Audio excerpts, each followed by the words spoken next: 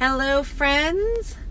It's Sami back with another episode of the Daily Dash. That's right, it's everything you need to know from around the world and in my life, straight from my car dashboard to yours. Today is Thursday, October 31st, 2019. Let me tell you what you need to know so you're in the know around the water cooler and in Carline today. It's good to be back on the dash. I was going to see if there's some filter or something we could put on because, oh, there's pumpkins. Hang on. Because it is getting dark outside. Let's see. Bear with me. No, not working. It's okay. Well, well, maybe it's working. I just don't see it. We'll just go with the regular. Okay. Um, just found out that the U.S. Figure Skating Championships will come to Nashville in 2022. Uh, the Nationals won their first ever World Series. I did not even know they used to be the Expos, who I used to work for, which is crazy town. Uh, what else is going on? It's Halloween is what's going on. That's the big news. Uh, you know what? I'm just gonna, you know me. I'll put the news below. if you missed any of it, you know where to find it. You can also find me at the Sami Cone on Twitter and Instagram, all the places.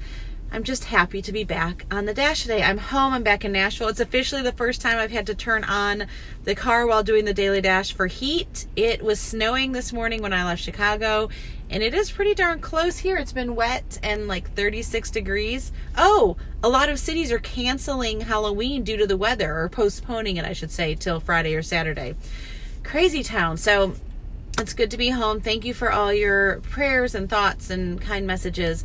Uh, we had a really special time in Chicago. And I think the thing I want to leave with you today is that you need to, I don't, you can't prepare yourself, but just um, be aware of the in between moments. That's what I want you to be thinking about today. So, of course, we went up to Chicago for a funeral but more than the funeral and it i know it was really impactful to be there um, but it was the in between moments. It was the moments that we got to reconnect with people we hadn't seen in a long time. It was um, us going back. I told you that the the shiva was really busy on that first night understandably so. But we felt like we didn't get to see everyone or really connect in the way we wanted to. And then as we were leaving my other aunt and uncle and cousin were coming in and th- that was whose 90th birthday we were at last year in Chicago. And so we just really wanted to spend more time. So last night, not only did we get to go back um, for the second night of Shiva, there was a, a, service that the rabbi held at their house that we, you know, got to witness. But then we went to my other aunt and uncle's house, and my cousin and her husband came down. And so just getting to hear stories that I'd never heard before. And I think for me, just getting to connect with all of these relatives as an adult.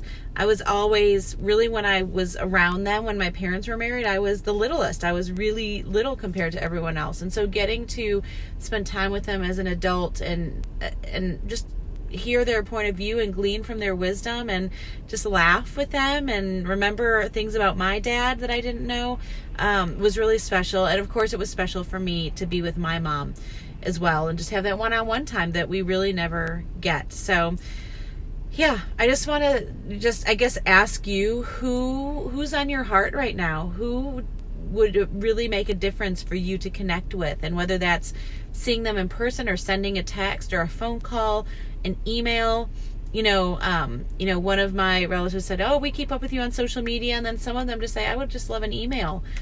Every once in a while, I don't get on social media, so I think not only just the connection, but knowing how that connection is valuable to them how how are they most willing to receive your communication? So that's what i took away from that. I just want to pray awareness over each of you today. Um, again we'll we miss those special moments if we're rushing from point a to point b and don't always realize sometimes we have a calling in the in between and so i just pray that you would be aware to recognize that calling today okay friends i hope you stay warm I pray you have a great day. Make sure you make it great and do not wait to tell someone you love how you feel about them. Bye, friends.